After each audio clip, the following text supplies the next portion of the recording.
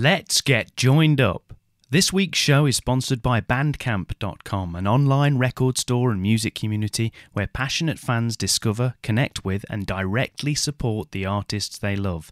There's thousands of bands and artists on there, including my band, The Wry Dogs, whose second album, Pigs Might Fly, is out right now. Here's a quick snippet of the title track, which is also available on Spotify.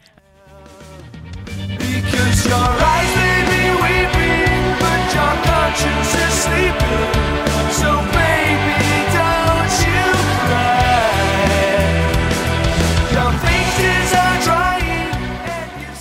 It's totally free to join Bandcamp, and as the Wry Dogs are brand new members, we're now looking to grow our fan base, so your support would be greatly appreciated. Just search the Wry Dogs, that's W R Y Dogs, and hit the follow button. Right, now we can cue the theme tune.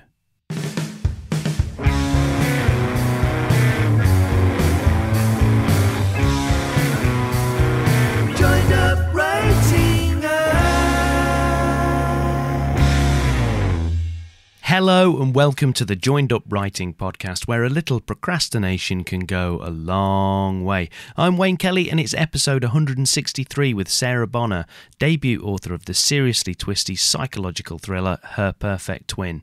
Sarah's got loads to say about her unique path to publication, how her organisational skills have helped her with both the business and the creative side of writing, and how she uses the five whys to drill down into her characters and write such amazing plots. I suppose I should say Happy New Year if it's not too late, as another year has rolled around since the last episode, and I also need to apologise for such a long gap.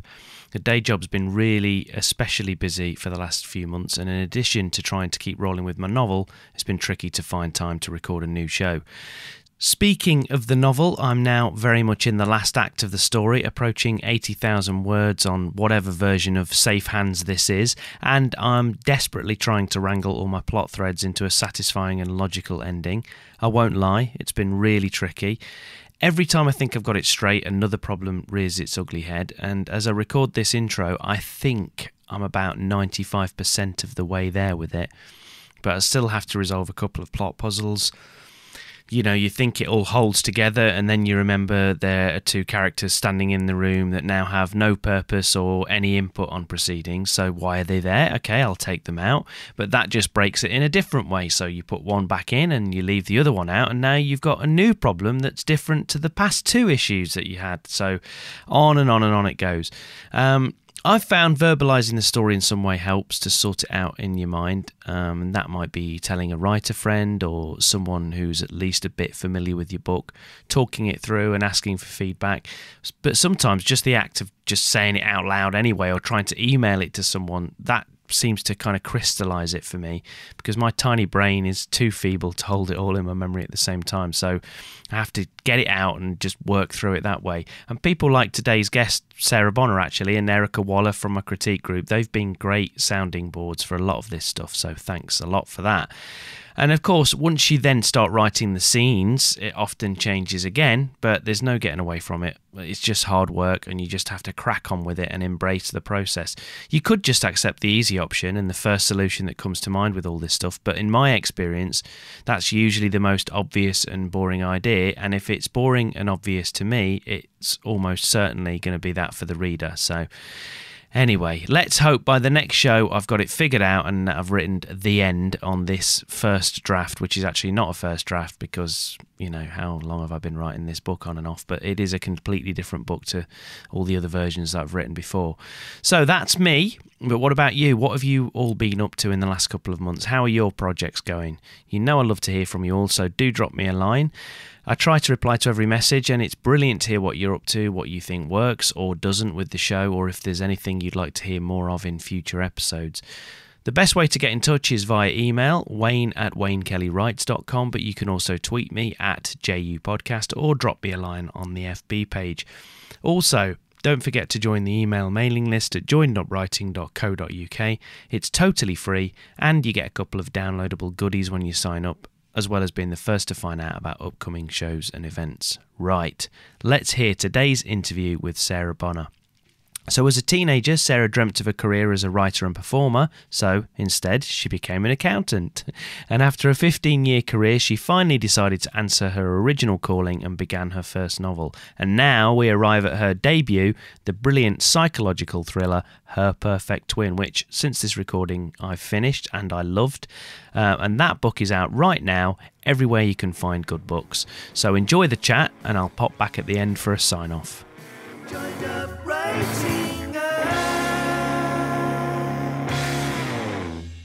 Hi, Sarah. Thanks a million for coming on Joined Up Writing. Really appreciate it. So, why don't you just start off just by telling us how things are going and tell us where you're speaking from as well? Okay, well, absolutely fantastic uh, to be on the show. So, thank you very much for inviting me. Uh, I'm speaking to you from uh, my house in, well, just outside of East Grinstead in Sussex.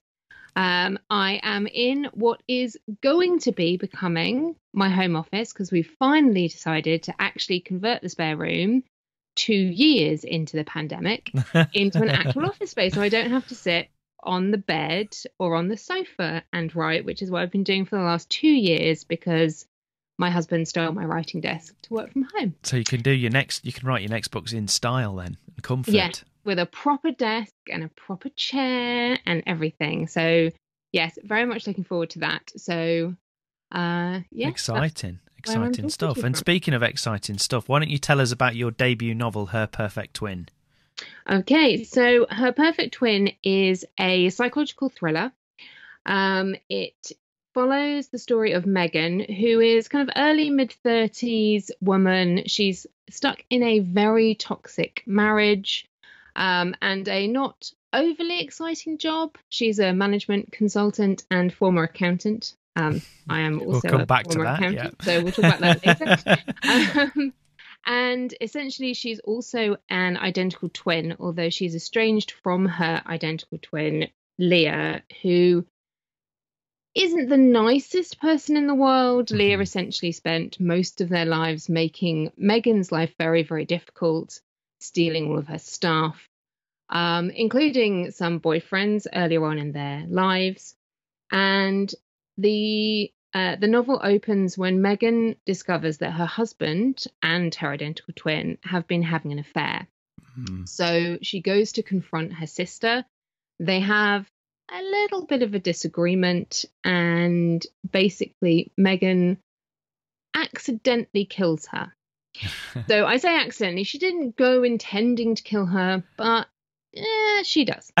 So, um, in order to try and get away with it, uh, she decides that she will try and live both of their lives. So, essentially, this idea that if no one knows that Leah's actually dead, then Megan can't be accused of her murder.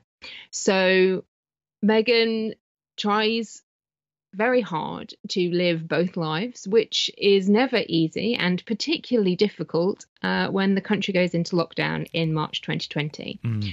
So I set part of the novel in lockdown uh, to kind of use that as a bit of a plot mechanism, which is uh, was very very interesting to to write and kind of explore uh, some of those elements in the novel as well. So the pandemic's really convenient for you. Uh, again- Don't worry. Oh, I hate this one because there's, there's always this kind of I'm only Uh, joking. uh, yes, I've used it. It's not a pandemic book. Um, it doesn't really talk much about COVID. Uh, it more uses lockdown it's as a nice, it's a nice little device, isn't it, for you? I used it as a plot device. Yes. Yeah, yeah, it's great.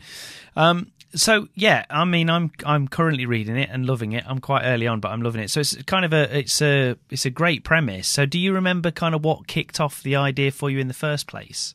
Yes, it actually started as a short story. So I'd, like most writers, I'd been writing something, I'd been working on something for a very long time that wasn't really working. And I decided to take a bit of a step back and uh, spend a little bit more time writing some short stories. And I set myself a challenge in August of 2020 that I would write a thousand words every day didn't matter what it was uh, or if it was any good, but I'd kind of get into that habit. And I started writing this short story about a woman who was trying to decide if she should go on a second date with this guy that she'd met. but this guy thought that she was her identical twin. So it actually started with kind of a little bit of a love story element to it.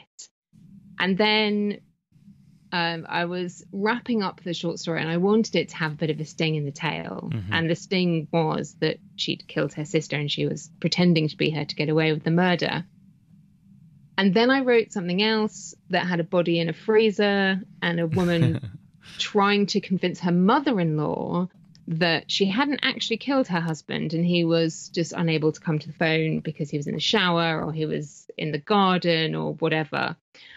Um, and then a friend of mine and I were talking about lockdown and how difficult it would be for people who lived these double lives. Yeah. So, um, you know, where you have um, men, particularly, who have this kind of second family, and what would they do in lockdown where you actually suddenly have to be at home, and how would they choose which family to go to, and Mhm. that whole dynamic. Um, and then I was just out one day walking the dog, and I suddenly realized that I could put those three elements together. And there was a book there. Bang, there was enough material, potentially, hopefully, to to create a book. And I remember coming home from walking the dog, and I sat down and I wrote a synopsis of the whole story. And I thought, okay, actually, yeah, that could be a book. Yeah. That's Um, great. and we were this was yeah end of the summer of 2020 and we were kind of thinking that we might go back into restrictions and it was all it was all looking a bit bleak and i think i just um i took writing her perfect twin as a bit of an escapism from what was really going on in the rest of the mm. world Yeah. and so I managed to write the whole thing and do, I think I did three, four, or maybe four drafts of it and had some people read it and comment and integrate their comments. And I wrote it basically start to finish in about 14 weeks, which Brilliant. is ridiculously fast. Yeah. And I will always caveat that with I'd been made redundant because of COVID. I don't have children.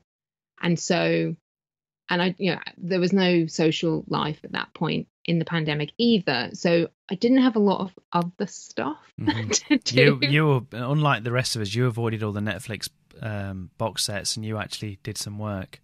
Well, I'd, I'd watched all of those earlier in the pandemic. Yeah. You'd run out. Completed we'd run- Netflix. we'd run out of stuff and um, my husband plays a computer game um, that had uh, he they just launched an update to it and so he was playing that a lot as well and so i just thought you know i'm just going to take this time and while the story's there and it wants to come out just get it down on paper and i think that's how i write best i write best quite quickly Yeah, while it's kind of white, the the idea is kind of white hot or whatever.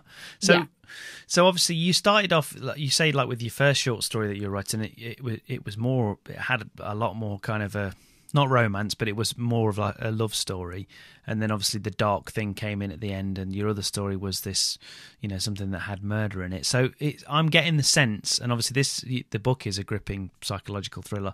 So is that the type of book that you're kind of drawn to yourself to read? Tell us some of your influences in terms of authors or books. Would you say? So I read a lot of thrillers, um, and I always have read thrillers. So I remember, I think I was about 10, and I'd read everything in the children's section of our local library, which was quite small, but also I read a lot. I don't remember watching TV as a kid. I remember just always reading. hmm Um, and so I'd exhausted the children's section, and I think my mom was a bit reticent to um, let me read stuff that might have sex scenes in it. Yeah. And so for some reason, she thought it was absolutely fine that therefore I'd read thrillers. Um, because I think thrillers, particularly at that point, because this was kind of early mid 90s, Mm. it, it was either you had lots and lots of action or you had lots of a different type of action. Yeah. Um, Bedroom action. Yeah. Sexy And so she was like, all right, you know, death and horrors, that's all fine. Um, and so I think the first adult book I read was Jurassic Park, oh yeah. Great um, and then went through uh, Stephen King and Mm. Dean Koontz and all of those kind of writers, um, which looking back on it, probably not what you should encourage an 11 to 12 year old to be reading. But anyway, um, so I think that always influenced what I enjoyed. And I've always been really, really interested in that idea of um, this kind of evil that lives amongst us and looks like the rest of us. Mhm. Um, and one of the the characters in the book, um, Megan's husband Chris, he's not a very nice man, Mm. and he's kind of inspired by some of that um, idea that actually you can be really, really rotten, but still present yourself in a way so that most of the world doesn't realize that that's who you are. Um, it sounds really quite macabre and like I was a very, very strange child. no, I I, I relate to it because I was the same. I I read a lot of those types of books probably at a similar age to you, like especially Stephen King and things. I remember reading. I think Salem's Lot was the first Stephen Stephen King book that I read, and I was probably about twelve or something um, at the time. So I was the same. But I think my, I think my mum read a lot of um, those kind of books at the time. I think she was um, she had a phase where she was into James Herbert, and she liked. I remember reading yeah. Rats, um, and that ha- I do remember that that actually did have a sex scene in it, which I remember, and I was only really young, and I was like, oh my god, um, blown away by that. But I yeah, the, I was similar. I think. I think the whole thing with it is, is is if you're quite an early reader, like you say, you kind of burn through stuff quite quickly, and then it's like, right now I've got like this key where I can just go and read stuff. Because the thing with books as well, it's not like you know Blockbuster Video or something where it's got an 18 on it, or and you know you can't get it and you need a you need a ID or something to get it. They just let you have books. That's the thing that I always used to think. Yeah, they do, and I think our um our librarian did raise a few eyebrows occasionally of some of the things that I was taking out of the library, but Mm. then, um, yeah, my my parents were quite um were quite open minded in terms of that. Um, as long as it didn't traumatize me, it was fine. Yeah, um, I think was always their view. So that was fine. And my mum's a huge reader as well. So, um, you know, our, our house was just always filled with books. Yeah. Um, I went back um, to my parents' house for Christmas this year, and I'm just, I just walked in, and every room there's just books piled on every available surface. Um, and yeah, I'm sure that some of them haven't been read, um, but I know some of them have been read many, many times over. Um, and so yeah, we just there were always books everywhere. Um, I went through a stage in my kind of twenties that I didn't read very much um, while I was doing my accountancy exams. Um, and so there's a I have this kind of weird gap of about 10 years where I didn't really read anything new. Mhm. Um, but I'm now kind of rectifying that and going back through some of those things that I would have missed at that time, which is quite nice. Um, and I also read a lot of, again, this is going to sound really macabre, um, kind of dystopian and post apocalyptic fiction as well. So I've always really uh, enjoyed you're drawn you're drawn to the darker side of things. yeah, basically. Um, which yeah, like so so many people are it's like it's a, there's a reason it's like one of the most popular genres so it's totally understandable so so tell us a little bit more about your background kind of where you grew up and what your earliest memory of writing is So um, I grew up in Wiltshire, so just outside of Salisbury, um, and I was I was a very nerdy child. Um, not going to lie about it. Um, re- like yeah, very so was I academic, very never got in trouble um, at all. Really, yeah, all all quite dull. Um, but I was also a dancer for a long time. So I um, went to ballet school when I was 14 for a couple of years, although subsequently discovered I wasn't actually very good, which is always a fun thing to find out. Um, and then kind of moved a lot more into to doing quite a lot of youth theatre um, and had an ambition to be a playwright. And then I don't quite really understand what happened, but somehow I became an accountant, uh, as you do. Um, so I went to university, I did a hospitality degree, and then um, became an accountant. I did that for mm, well about 15 years, Yeah. um, and then uh, moved more into project management and project development, which is it's not unexciting, uh, but it's certainly not particularly creative. Um, creativity is generally discouraged in the accounting. yeah, strange that. um, and then, yeah, a couple of years ago, it's probably more than a couple actually, it's about four or five years ago, I started writing something that had been in the back of my mind for a long time. Um, and just something said to me, just just write it down and see where it goes. And so I spent a couple of years writing a book and editing a book that isn't great. Mhm. I might go back to it at some point um, and work it It's the Through book that you again. kind of learn to write on, though, which lo- lots of people do that. Yeah.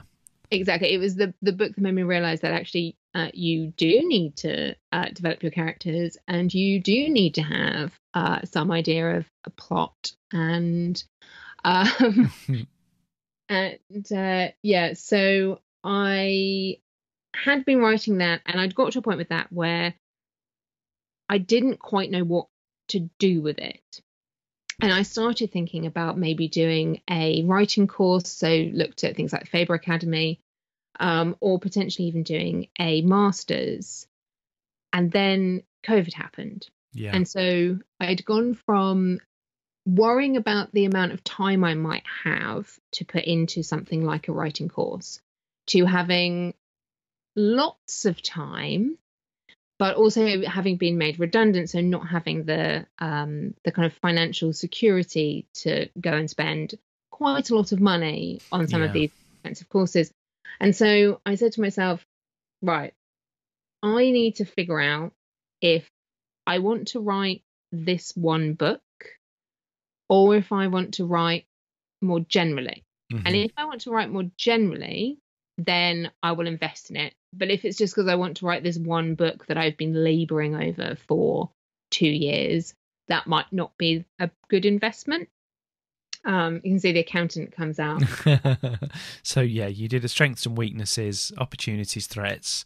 yeah, of that. And then I, and so I said to myself, look, just spend a couple of months, um, read a lot more, read some more craft books and uh, books around structure and characterization and, you know, all of those kind of cornerstones of writing, um, and write some short stories and I've wrote some flash fiction and, and that kind of stuff. And then, um, and then you know see how you get on and see how you feel at the end of those kind of couple of months um, because it was going to be obvious that i wasn't going to find a job immediately um, because i worked in aviation and there were there wasn't going to be anyone hiring over the summer of 2020 let's put it that way No, absolutely. um, and yeah, while I was doing that, I had the idea for her perfect twin, wrote it, and then had a slightly awkward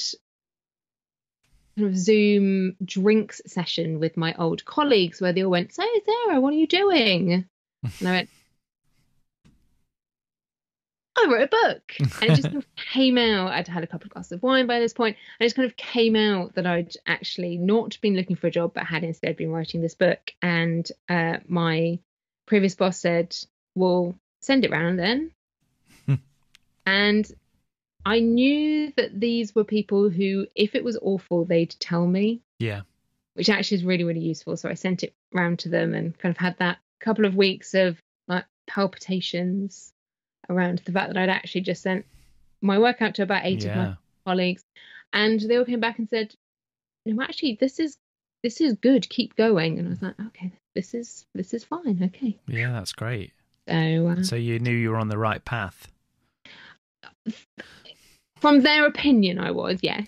But it must Um, have given you enough encouragement to just, as you say, keep you keep you going with it. yes. And and to start thinking about packaging it up and sending it out Yeah. um, which is I think there's it's always really difficult as a new writer to know when your work is at the stage to be sending it to someone else. Mhm. So to to be thinking about literary agents or um, if you are self-publishing or if you're going to publishers directly, kind of you know what is that point at which it's it's as good as you can make it. And Yeah. how do you ever judge that? I think Yeah. it's, it's a difficult one to.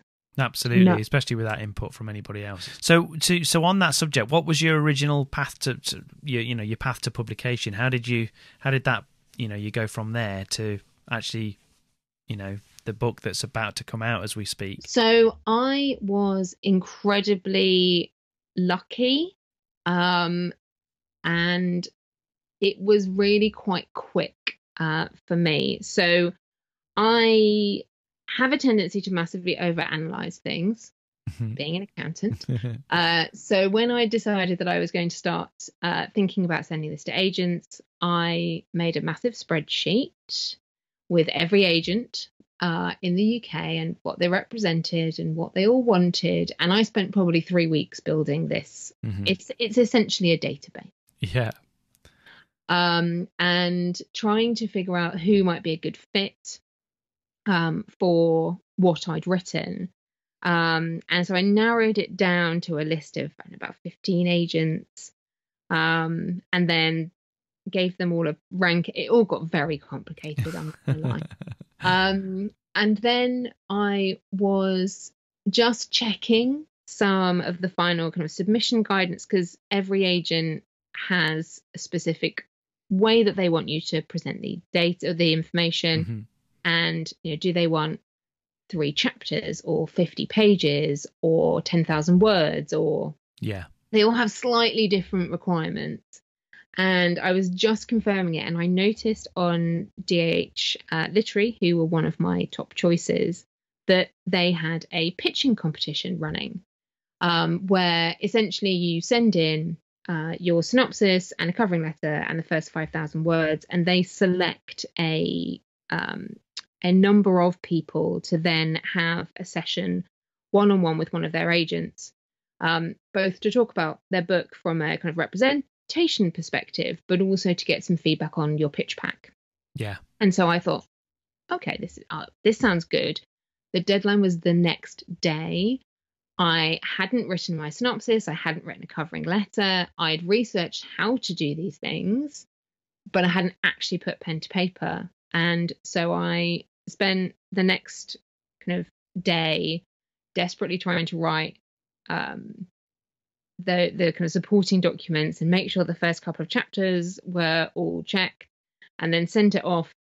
Um, I think hours before they closed. Mhm. Um, and a couple of days later, had an email back from them to say they'd like to offer me a pitching slot. And because it was so close to the deadline, that pitching slot was literally kind of a week after I'd originally submitted. there wasn't much waiting around. There was no waiting around. I had a chat uh, on Zoom with Hannah, um, and she said to me, uh, "I really like the idea. Send me the full." So I sent her the full, and she emailed me on the Sunday evening to say she'd read it. She really liked it. Could we chat on the Monday? And then she offered to represent me on the Monday. So it was literally ten days Wow. Original submission to getting the offer. And you know hannah and i have talked about it since and it was so so lucky that the timing was just so perfect that she happened to be looking for something that was a thriller. Um at that time she was open to taking on a new client because that was one of the reasons that they had the pitching event. Um and yeah just all the kind of pieces i suppose just fell into It- place yeah, the timing's lucky, Sarah, but it's like with any of this stuff. You know, there's a saying about um, you know your ship coming in or whatever. But when your ship comes in, you've kind of got to be ready to row out to meet it, and you were you were ready. You know, you had the stuff ready, and you had a good a good premise and a good book and all the rest of it. It, it you know you could have seen that and not had any of that stuff, and so it would have been irrelevant. yeah it was um it, yeah and i and i had done a lot of research to make sure that she was The right exactly the right agent Yeah, as yeah. well um and um and now i mean she she's absolutely brilliant but i also have someone who is the best person for recommending books as well so because we have almost identical reading tastes Oh, brilliant. Um, which was one of the things that I looked for in an agent was someone because on their website they'll always say these are the manuscripts, the types of things that I'm looking for. and then generally most agents will say, and this is what I personally like to read. Yeah. And I figured, well, I've written a book that's something I'd want to read. So if I find an agent who likes to read the same stuff that I read, she's more likely, or, or she or he is more likely then to like what I've written. Yeah. Was my logic that it seemed to have worked. Yeah, definitely. So, do you remember when you got that call on the Monday or whenever it was, or, or she's, you know, she said that she wants to talk to you on the Monday, and then, you know, because she'd asked for the full, and she said that she liked it, and she said, "Can I, can I speak to you on Monday?"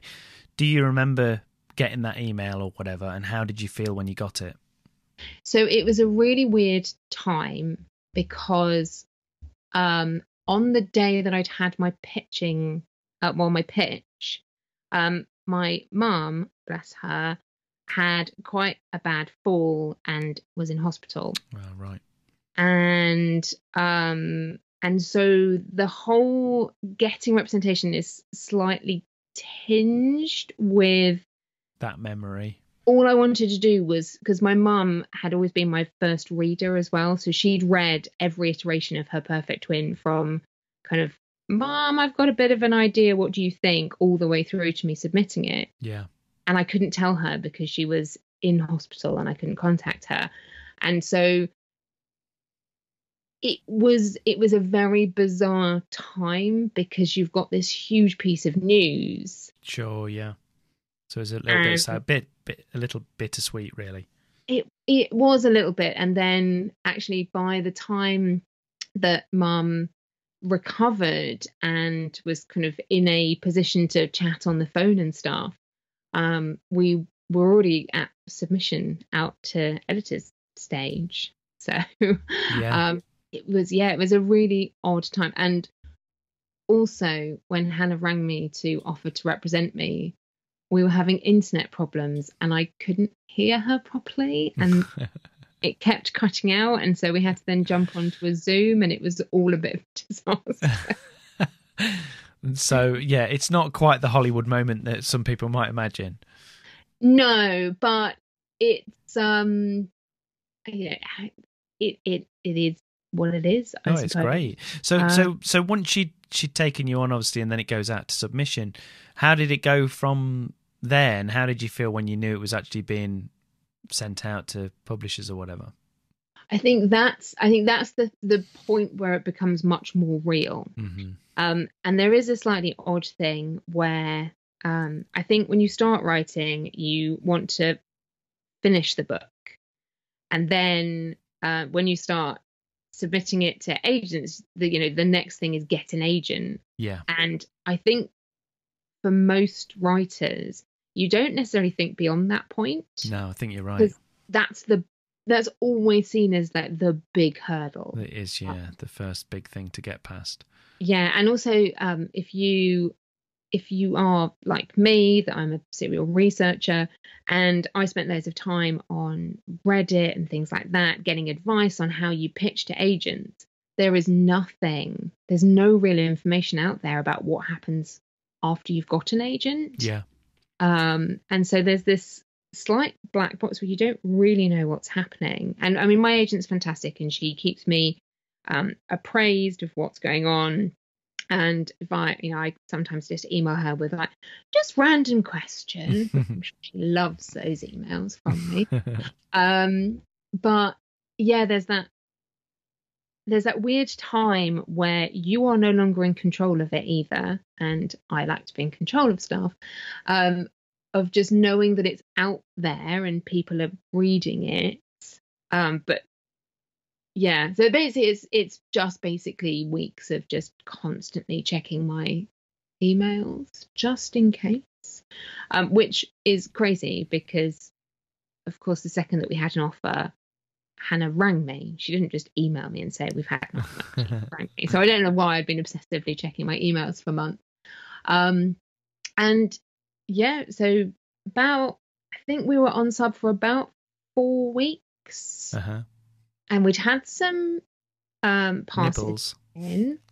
Uh, no, we'd had a lot of passes, and Right. I'd had a couple of people. So, of course, the best time to pitch a pandemic set novel or a lockdown set novel is just as we go back into another major lockdown in January 2021, uh, which is literally what happened.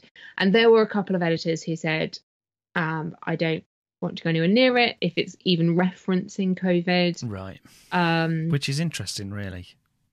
it, it is and i think um and i think that was just at the point in time where we were with the pandemic where people were starting to realize that maybe this wasn't going to be the it'll be over next week situation that Hmm. we i think convinced ourselves during the first lockdown that you know oh a couple of months and it'll be over and Yeah. then we kept saying this of like Yeah, we're still saying when COVID's it. done, when COVID's done, and and I think yeah, last January was that point. Everyone was going, well, maybe it's not done, Mm, and I think we've now got to a point where, um, although I think there are a lot of people who don't want to read a pure pandemic novel per se, mm.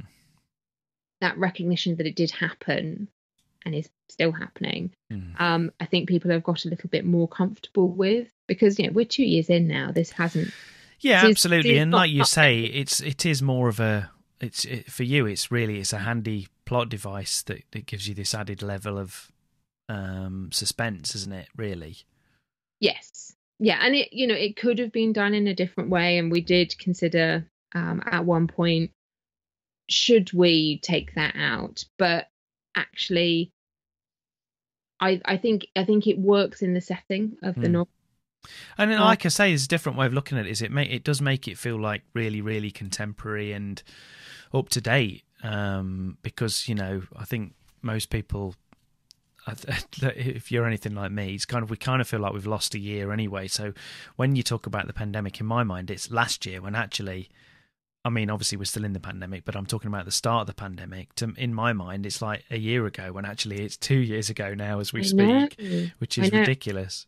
and and I think that's really hammered at home for me how long it's been that I literally have start like had an i I've taken a novel from idea to publication in Mm. this time. So I um you know in March 2020 I went home from work um we had the press conference that said you now need to work from home. I never went back. No, And so I literally just, you know, went home for the evening from work. Yeah. And then two years later, I've published a novel. It's, it's a very bizarre. it's surreal yeah it feeds into the whole surreal feeling of the whole time Yeah. so on that subject you you're talking about this previous career this, the you know the career you had as a, an accountant and um your project manager and all the rest of it you know as you say it would seem like it's a million miles away from a writing career but do you think any of the skills you kind of honed in the business world have stood you in good stead for being an author and if so what sorts of things are we looking at I think there are there are a couple of things that are hugely helpful. Um, so from a, an actual writing itself perspective, or being, or you know, writing a whole novel, having some of those project management skills Mhm. are really useful. So you know how you can break something down into smaller parts and keeping yourself motivated, um, going through that process. It, it takes a huge amount of time to write something that's novel length and keeping yourself motivated through all of those different stages um, so that's that's massively helpful to have that kind of project management background and i treat it in a similar way Mhm. uh, so there are stages and you go through those stages and i have spreadsheets where i tick off progress and things um, so that's really really helpful. Um, there are also i'm in addition to being a project manager i'm also a change manager um, which is much more around process improvement. And Mhm. actually um, process mapping and plotting are really similar uh, because you know you start at a point and you end somewhere and you go on a journey through that. So i use a lot of my old um, mapping uh, methodologies when i'm plotting so I have a, a huge wall which is covered in this stuff called Magic Whiteboard that basically converts your wall into a whiteboard and sticky notes, and I will plot like that onto a wall, which my husband loves because the only wall that we have big enough is in our bedroom. and so for for certain points in the plotting process, our bedroom wall is basically covered in my ideas on how to murder people, how to get away with murdering people. It's all good fun. At one point, I did have um, a section on that that was titled "How Can She Kill Her Husband and Get Away with It?" for a different story. Um, and yeah, he was watching. That's worrying. Yeah, when he wakes up and sees that. yeah, exactly. um, so yeah, so mapping is is really really useful, um, and it helps with things like how you deal with time as it flows through and and those kind of things. Um, and also, I think coming from a business background um, into the publishing industry, I think has helped me from a, a kind of mental health perspective of keeping things in perspective because it's hugely emotional to to write a book and to get it published and to put something creative out there that's kind of you know it is your baby and you tie yourself to your book in a way that you don't do for you know doing uh, finance reports and things. Um, but i think for me recognizing that publishing is a business hmm um, has helped me to navigate some of those things within publishing that seem a little incongruous and a little bit strange. Um, and I think it's just kind of kept me um, kept me a little bit sane being able to say, you know, when stuff happens in publishing that you think is a little bit odd, I can just put it back into business terms and go, okay, yeah, that actually does make sense if you contextualize it like that. Um, so You can think of it more as a kind of a product or whatever. Yes, and you know it's it's difficult to do because you are intrinsically linked Of to course, it. yeah. You know, this is the result of me at you know eleven o'clock at night still writing, and um, you do put a lot of yourself into it, even with a thriller that is you know about identical twins, and I'm not an identical twin. I need to put that Well, so you say. What's happened to you? What's happened to your sister? That's what we want to know.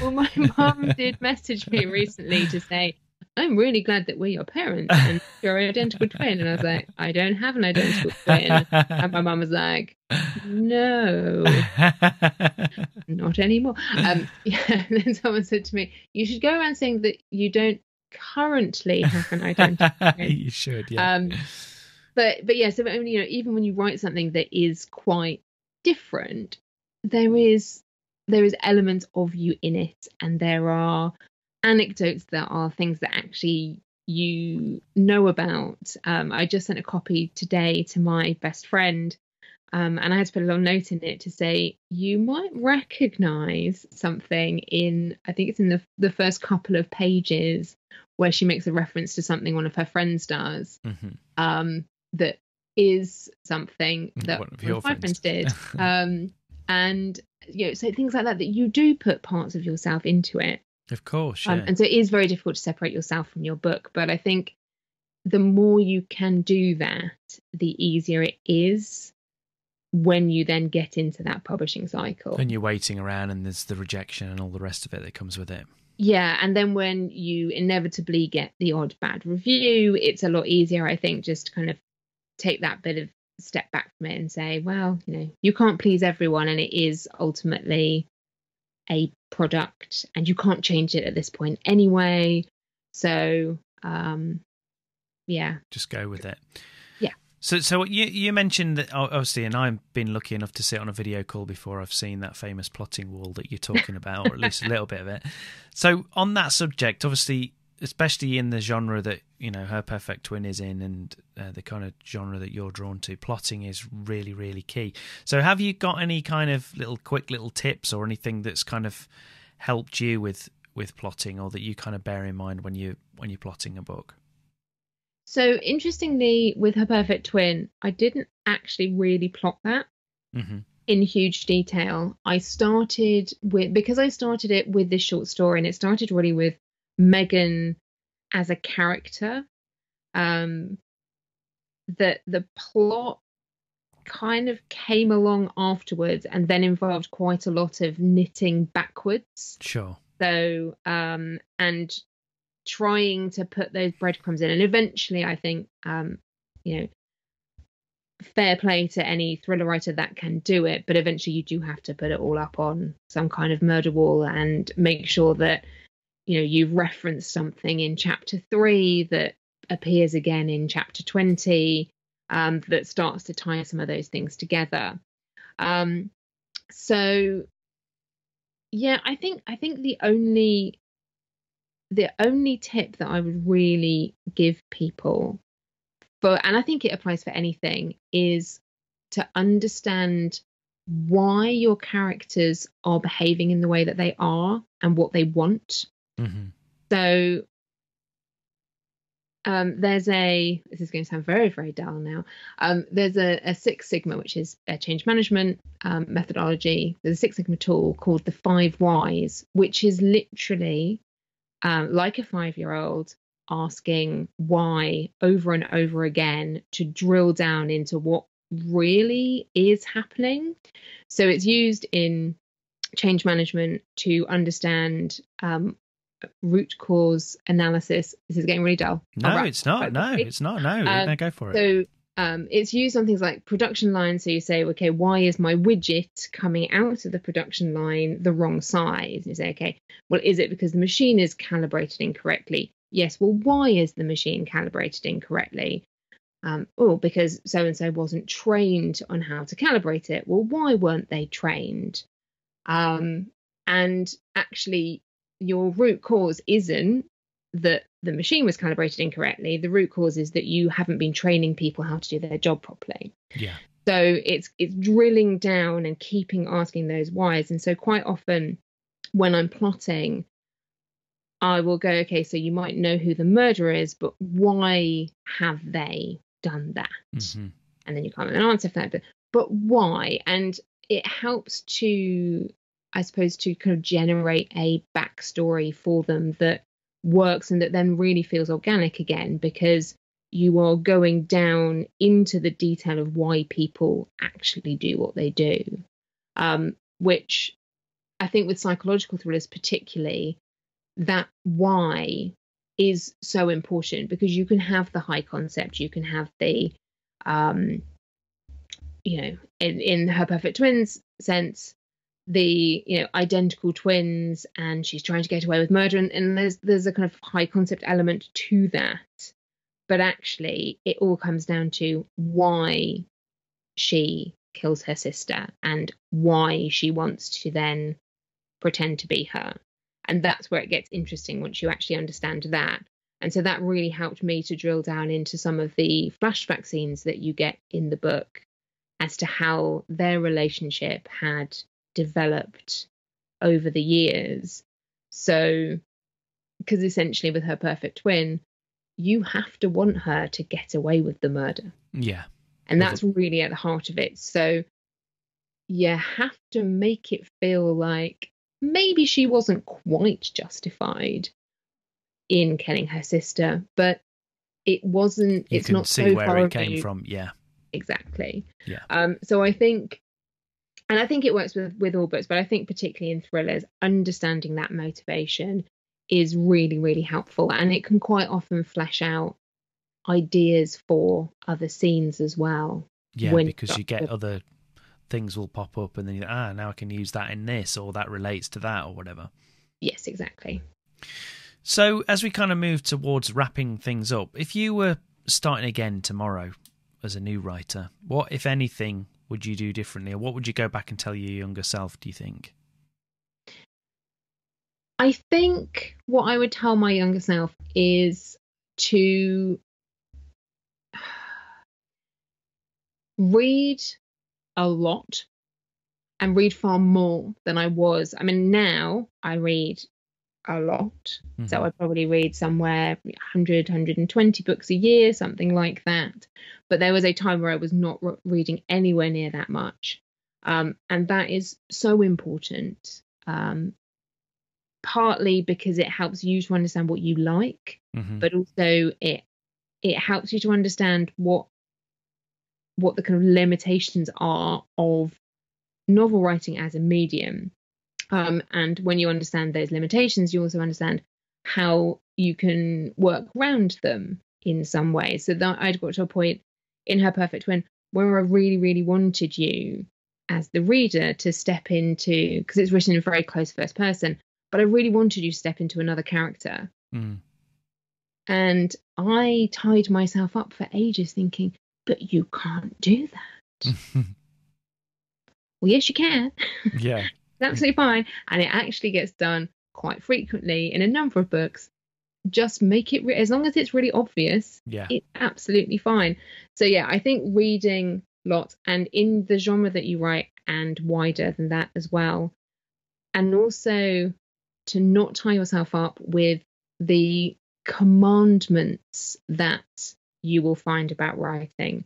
So if you go on to a lot of writing forums, you will find, you know, the rules that you can't break and um, all of these things that you have to do. People say you have to write a thousand words a day, Yeah. write every day.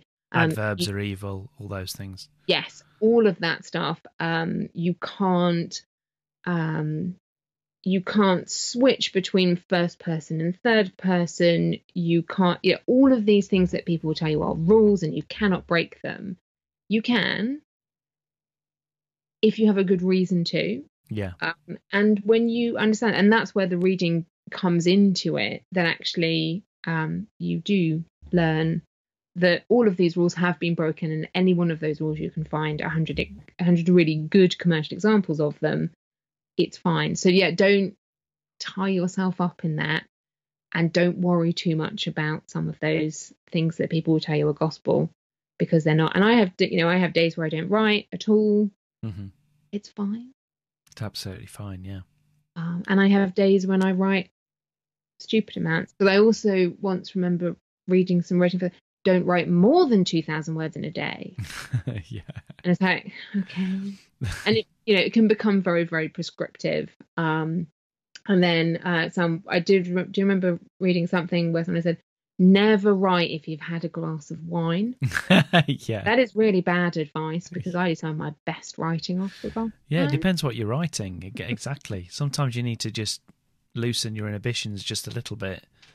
You do, and it doesn't have to be wine. You know, whatever works for Yeah. you. I um I have a friend who likes to go for a very long run and then write because Mm. that um kind of you know frees their creativity in a way um that that really works for them. So I think yeah, just ignore anyone tells you advice that is gospel. Ignore it. I'm very conscious that I'm now saying as the gospel. Don't yeah, that that is a rule now. Ignore all the rules. yeah.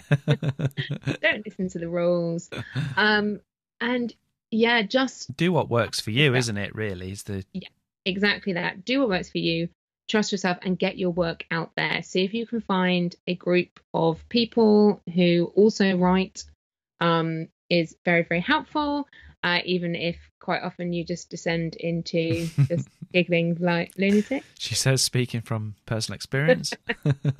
yes Wayne and I are in the same writing group which quite often just descends into absolute chaos um in a very good way and we forget whose work we're supposed to be critiquing that week. yeah, that's happened more than more than once. didn't happen to you, didn't it? Was it? Was it you? We was we think we totally forgot to actually talk about your work until the end of the meeting or something. yes. Yeah. Yeah. I think it's happened to all of us to be fair. yeah, absolutely. So, um, as we kind of wrap things up, then, so why don't you just tell people when Her Perfect Twin is out, where they can find it, and also where they can find out more about you?